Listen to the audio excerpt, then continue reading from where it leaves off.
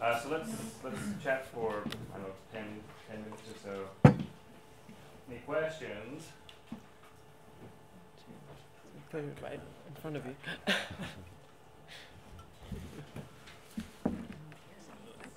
I'm curious about your uh, your anti-citation style, or your like your sort of. Mm-hmm. Um, Mm-hmm. I'm, I I don't have any experience with your work prior to this, um, but what what are you getting at with that structure? Um, I'd be interested to hear what other people think I might be getting at Mm. in the structure. Um, um, well, there's a sense in which whatever we say is um, a recitation of words and phrases that have been said before. That's one thing. And there's something. Um, what's the question? Well, I'll say that. Um, there's that. And then another thing is about um, thinking. And um, I'm kind of experimenting with thinking aloud, although it's more an experiment with writing aloud, because I think maybe I do think aloud, which is that words that have been spoken by others or that I've read um, resonate and echo and reverberate. And they come to me, you know, like Yeah. thoughts come to me, they come from elsewhere. So there's a sense in which um, I'm going back, well, I don't know whether I'm going back, but um, I used to know Anglo Saxon and I've forgotten how to speak it. Um, and I've forgotten what I knew, but um, they're, they're talking Anglo Saxon is there's a word hoard, right? and you dip into the word hoard, and that's what I like to do. And so it's a way of kind of um, um, challenging the presumption of a kind of ownership and originality to um, thinking and speaking. Yes, that's one thing I'm doing. Yeah, you're Yeah. accessing kind of like Yeah. fluidity. And a lot of the times when I do this, you know, the, the stuff just comes to mind. Stuff I think, oh, you know, what's that Buck Mulligan thing? So I have to go off and find it. In that case, but sometimes things come to mind, and they are poorly remembered citations. And I don't think there are any in here. This was a, quite a difficult thing for me to do because all, apart from networks, surprisingly, nothing I read about networks sticks in my mind, but quite a lot about net and work stick in my mind. Yeah, uh, and the orality and agency were almost impossible to work with. Um, but um, the miscitation is very productive exercise. So in a way, I kind of want to. I, I do. I, I usually indulge in miscitation, and it sets it sets the resonances going. It lets the words echo. It kind of releases them from the constraints that scholarship obliges us to um, Hmm. attend to. You know, and yeah. So I don't make any pretense of setting up the context. In fact, I'm trying to, in a certain way. I wondered afterwards whether I was in some. I don't know if this is true, but I, I'm trying to um, create a different context for circulating some stuff. I think it's excellent, and the, the, the, the term that you use is really interesting. Parasiting. Well, it works beautifully in all ways. Beautifully, uh, with indeed. the S I T I N G because you recite. Yes, yes, Yeah. exactly. Yeah. And I kind of have, have um, I've also done it. and It's really interesting how we're on the same panel. Because I've also done it in my paper. I call it the unacknowledged. But yours is much better. I'm going to use it Yeah, from now on. a little seamless yeah. Could Copy- roll as copyright credits it. from everything that has come in to, yeah, yeah. to build a new, Yeah. um, whether intentional or not. I find that I tell the students about it, and it it liberates them. You know, they don't feel so. You know, you said that you have all these citations. when I, when I have to write these things up, there's phrases of four words that have to have a little entry. You know, because the, the part where I say, "So let's listen," yes, let's listen. That's actually from Derrida. it's a it's a little bit at the end of Mm. one essay he ha- he has. It's in um, it's in the it's in the collection called Points. And that's just stuck with me all the time. Let's so let's listen, let's listen. But also you the, you take on kind of you know a life of its own the way you use it. With yes, the- and I want to release them. yeah, yeah, Yeah. and it connects to other things. I've done, I have a, a whole passage here that that's marks from last year's tuning speculations, oh yes, plagiarized yeah, word for word. yeah. yeah. but if you begin, if you begin by saying you're parasiting, then Yeah, no, it's uh, it's kind of like a- an internal joke or and something. it, it also allows me to um, put things together, like to compose them um, in ways that, if you were being faithful to the context or the original intention or any of that stuff or the authority, you you couldn't do. So Mm. so it helps to make a different kind of um, fermentation. Yeah, I, I hope. absolutely. Fine. yes, definitely. Francis, you have a, did you have a question? Oh, yeah, yeah, this is for Paul Pickett. Yeah. Um, I was just wondering, um, if the earbuds are a kind of a, a sign, like a design elect, if they're a sign of, um, you know, an audiophile listening to, to, um, or with, with the earbuds that are expensive, Hmm. then, um, what about the, the earbuds as a way of, um, shutting off any kind of communication with other people, so that, and the same with cell phones, so that, you know, Yeah. when someone's on the phone, you can't really talk to them, when someone's got earbuds, you don't interrupt them. So is there a kind of weird contradiction in that, in the, in the sense that you're wearing these earbuds? I guess this is a kind of a comment on your report, Mm. but you're wearing these earbuds that, um, no one can compliment you on, Well, that would be cool. but you just need to see them complimenting you, going like this. Mm, Oh. the red ones. Well, kind of KTN compliment. yeah.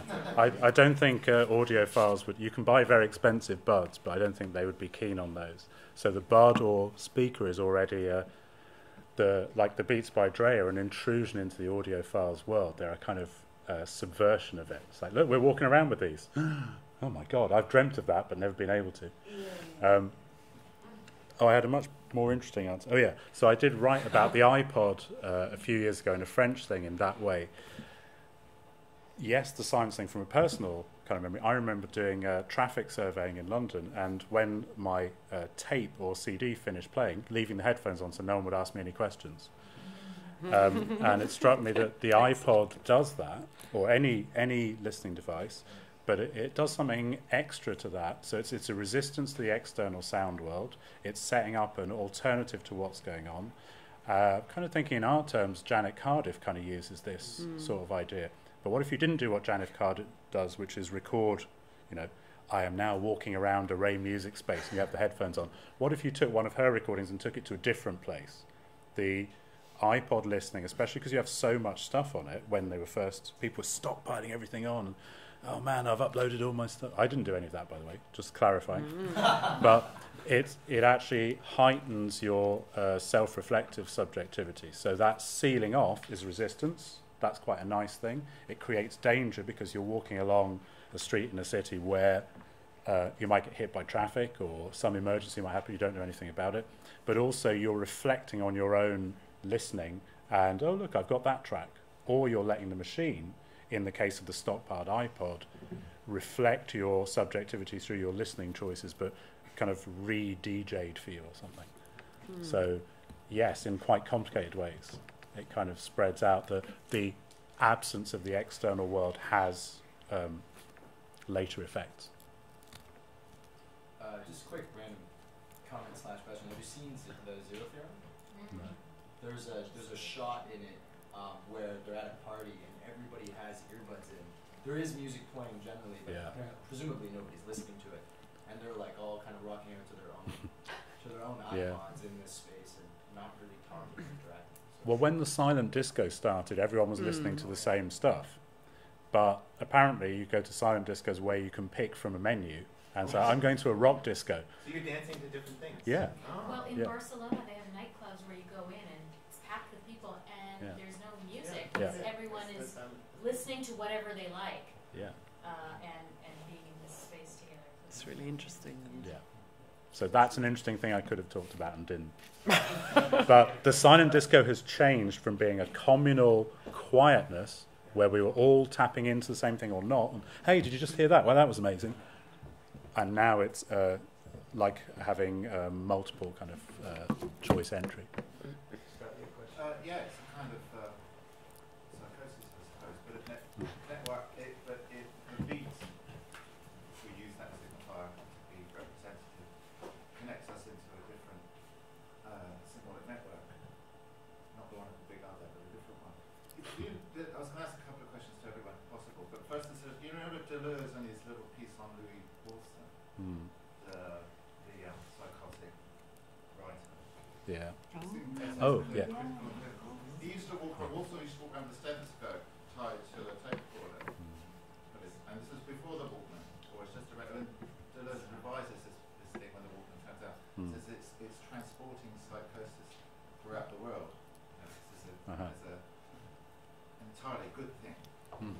But I was going to talk about the beat and a slash sociality, because that's a nice example. On the one hand, it's asocial, as was suggested, but it's, on the other hand, that beat connects us up with different forms of entirely mus- uh, uh, musical or rhythmic one, Mm. a different way of connecting that cuts us off from a different sort of sociality.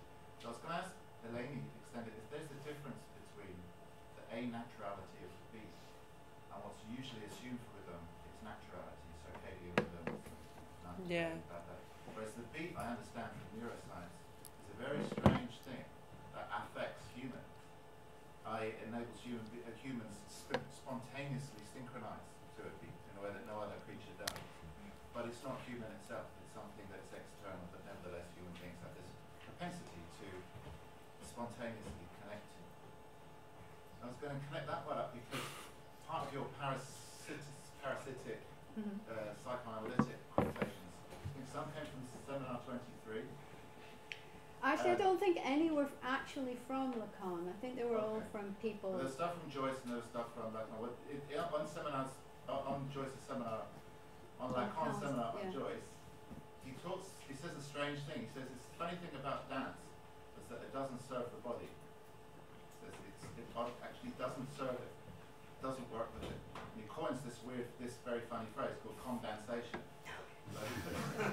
that it, uh, that the, the, the body often That's in so its relationship to dance generates a kind of eurythmic or arrhythmic symptom, which is uh, uh, interesting. So there's a resistance to the asociality rhythm. Mm. So it was that connection about how the term beat, either as a signifier or as a signifier of a certain type of rhythm, that connects us to the, if you like, what's been called the machine, uh, or a different kind of social network, and its connect and its difference to the naturality of rhythm or a different kind of rhythm. Can, or uh, is, would it be helpful to think of hyperrhythmia as a kind of symptom, a sort of condensation symptom? yeah. Shall I? I don't know. Do you, want go, to start? yeah. Uh, Um, No. oh. um, yeah, that's a, the, these are really good inter- interconnected questions. Um, yes, partly my work comes f- exactly from that problem of rhythm being hijacked as a concept uh, to mean uh, symmetry, the regularity of the beat, um, to be attached to biological rhythms and, flow, and flows and organic rhythm. Lefebvre, Lefebvre writes uh, about um, in his rhythm analysis um, text he writes about isorhythmia and arrhythmia, um, always related to, to the human body. Um, the musicians, for, for, for who we have a few around, so I better watch out what I'm saying, uh, have also kind of always been attached to, to this notion of rhythm. I'm just wondering what else um, it can do in its more asymmetrical, uh, non human um, theorizations, I suppose. And so- sonic fiction, Kodwo for example, writes about poly- polyrhythms. Um, and I think it's it, there. There is a. This is partly what I was hinting at in my paper. There was a moment in time in the '90s, because of cyberspace, digitalization, automation, um, the music changing, electronic music, and so on, um, that that rhythm takes on a different a, a different life, and we can look at it in a different way, and we can understand it in a different way. Um, and I think it's a it's a concept that has been not just misused, but maybe unused. um, so it's worth it's worth thinking what else it can do, and rhythm analysis as a method, for that matter as well, which is my next thing. I'd like to say something. Um, I really like that condensation, particularly in the context of what I presented, because the thing I said, the garbage men are talking trash, and this is um, an excerpt from a poem by a guy, a guy called Jeff Doven, I think that's his name. And um, the name of that poem is Dichten, the German, equals condensare. Isn't that interesting? Hmm. And something I didn't mention before is that I just pick up, I take note of these words in the stuff I happen to be reading. I don't, for the most part, go and look for things that include orality, agency. I just, every, what I happen to be reading, so that's sort of what restricts or determines the context, yeah. And then if I draw a blank, like with orality, I go and look on the net and come to the Scrabble site. Paul, did you have something to say about that? Yeah, no, not like I don't really have any time for that. But I am thinking about um, uh, the apocryphal uh, story of Bataille dancing with Sartre. That's all. I have nothing more to. Or Mondrian dancing, or Mondrian dancing to jazz in his own studio, which he So it likes didn't doing. happen, it's apocryphal. I'm, I'm saying apocryphal is good. It's code, coding for good. But the, the the beats don't come in. Beats don't come in asignifyingly, particularly in the form of those headphones. They carry masses of stuff that people are joining in on, and not least of which is these have been designed in a particular way to join in on particular kinds of music and illustrate that you are, which is they're bass heavy. And one of the nice things in Steve Goodman's book, which is sort of linking us back in, following your excellent tracking there, uh, is Steve Goodman's Sonic Warfare book, which is not always good, um, is about how Western avant gardism and theory has gone against the beat and has gone against bass. And what he does with that, those are the bits that I love in that book. And that, well, there's something interesting there. And then Brandon LaBelle talks about the spaces between Mm. beats, which gets a bit zen, but I think is quite nice, which is the structuring of beats sociality is not in the moment where beats happen, but in a wider kind of uh, rhythmical pattern made up of spaces. Hmm. And in between, yes, and Yeah. the unsaid in betweens. Maybe just one more question. It's the tiniest. Um, which orality is not in the OED? Like The AU or- version, Okay. yeah. So we have one more question. That's good. Not in the big one, the slightly smaller one. One you you had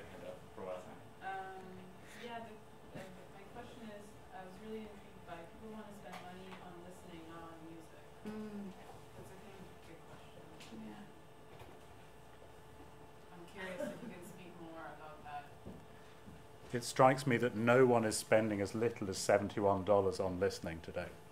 Absolutely no one. That you wouldn't even be able to find, you don't need to go looking for the average spend if you uh, include all the machinery, the net access that someone is spending. Not necessarily individuals, but the overall spend is colossal. And that's not including people going back and buying vinyls or whatever. Um, so it just strikes me that I'd be surprised if anyone spends as little as that on listening.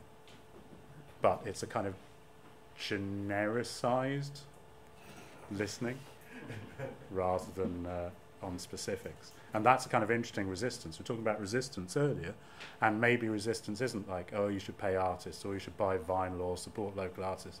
Maybe that's all nonsense. The resistance is somewhere quite peculiar, and that's in the embracing of something more weirdly social. Maybe we should probably end actually because we have lunch to get to. Yeah, go ahead, David. I was just gonna, this is not a question, this is actually about lunch. Yeah, what do we have to say about lunch? Uh, I was just say, maybe, maybe we can. I want some. Yeah. Right now. All right.